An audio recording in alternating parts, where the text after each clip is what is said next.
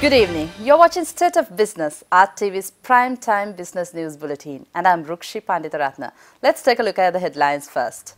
Despite reforms, Sri Lanka slips in overall rank in ease of doing business. Minister Sagala says impartial investigation will be conducted into deaths of Jaffna undergraduates. Now the news in detail. Despite reforms, Sri Lanka's overall ease of doing business rank has slipped from 109 in 2016 to 110 in 2017. World Bank said over the past year, Sri Lanka made progress in two reform areas that are covered by the Doing Business report, namely starting a business and protecting minority investors. It said that the improvements, while important, were not enough to stop a decline in the country's overall rank. The World Bank added that this is not necessarily an indicator that the country has slipped down in rank, but is more a reflection that other peer economies have undertaken a larger number of reforms in the business environment during the same period.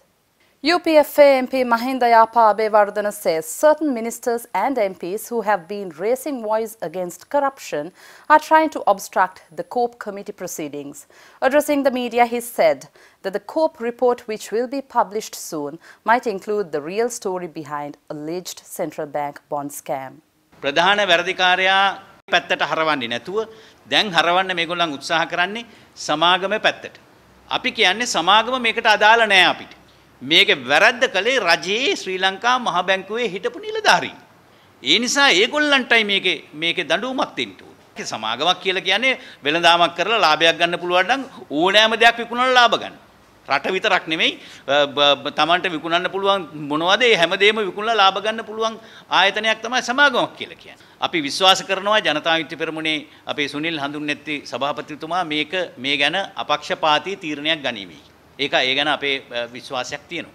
නමුත් එතුමාට මේ තීරණය ගන්න දෙන්නේ නැහැ. මේක කඩාකප්පල් කරන්න හැදුවේ. Meanwhile, State Minister Sujiva Senasinghe expressed views on COPE controversy at the cabinet media briefing today. only one report. A report එකේ දැන් හිතන්නකෝ කෝප් කමිටුවේ සමාජික 27 දෙනෙක් ඉන්නවනේ. එක පුද්ගලයාට පුළුවන් මේකට අපි එකඟ වෙන්නේ නැහැ කියලා වෙනම ඒකට කෑල්ලක් එකතු කරන්න. ඒකත් අතුල් වෙනවා වාර්තාවේ. one report. That's all. මොකද වාර්තා හතර පහක් දාන්නේ ඒ වාර්තාව ඇතුලේ ආ ආ ඈ ඈ කියලා ඕනම අනුශාසන කරුණු එකතු කරන්න පුළුවන්. අපිට අර්ජුන මහේන්ද්‍රවත් කාවත් ආරක්ෂා කරන්න අවස්ථාවක් නැහැ. පළවෙනියෙන් මම තමයි කිව්වේ මෙතන කොන්ෆ්ලික්ට් ඔෆ් ඉන්ටරෙස්ට් තියෙනවා කියලා. ආණ්ඩුකාරතුමාගේ න්‍යායක් ඉන්නවා නම් ඒ බැඳුම් කර සම්බන්ධයෙන් කටයුතු කරන එතනම කොන්ෆ්ලික්ට් ඔෆ් ඉන්ටරෙස්ට් තියෙනවා කියලා අපි පිළිගත්තා. Plans are underway to bring in Development Special Provisions Bill to accelerate the development process in the country. It will be prepared for making provisions for creating a national policy on all subjects. It will also facilitate the development and for economic development, establishment of the development agency, policy making for rural modernization and regional development. Now we have few more cabinet decisions in brief. Cabinet spokesperson Minister Gayantha Karunatilaka said that the government will adopt the Capital Market Strategy 2016-2020 that proposes regulatory and development actions needed for the industry. The minister said that the government believes that although the capital market plays a major role in economic development and sustainable development in rising economies in the world, Sri Lanka has not used its potentials. Hence, the capital market of Sri Lanka will be converted into an efficient and interesting place for share issuers, investors, institutions and mediators under this strategy. Cabinet has approved a proposal to release rupees 4055.1 million as its last portion to the central bank by the treasury for the repayment of security deposit holders of Golden Key Credit Card Company.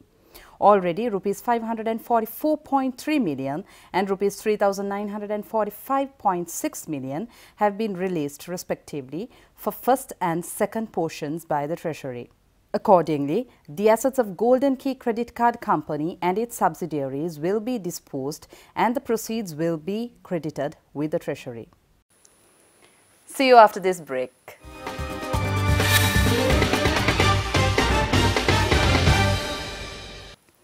Welcome back.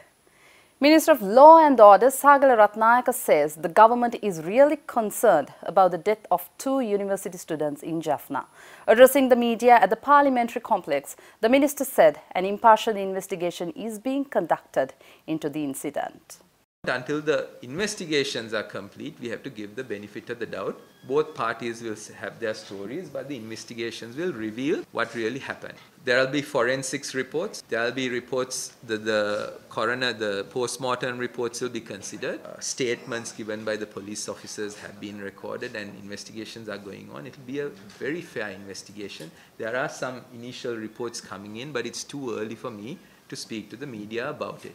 Charges will be filed on the offense committed, on the crime that they've committed. Minister of Megapolis and Western Development Patali Champika Ranawaka says that the new Colombo International Financial City project will give a long-term economic benefit to the country.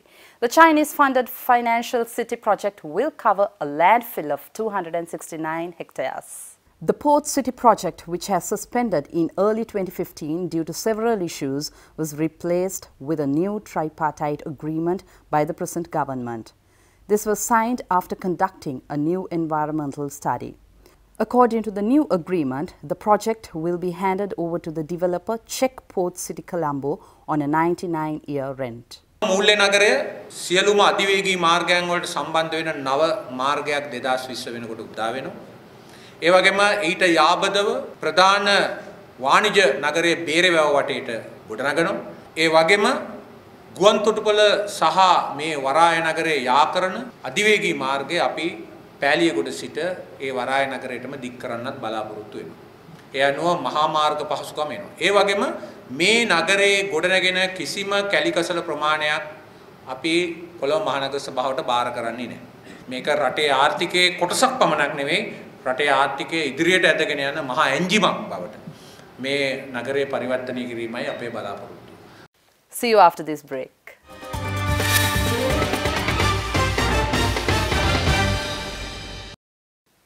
Welcome back. Subdued retail activities dragged the indices lower during trading at the Colombo Stock Exchange today.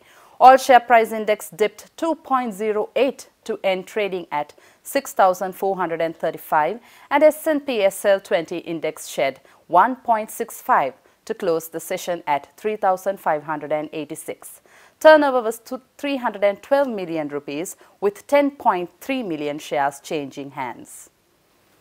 Let's take a look at the day's forex rates.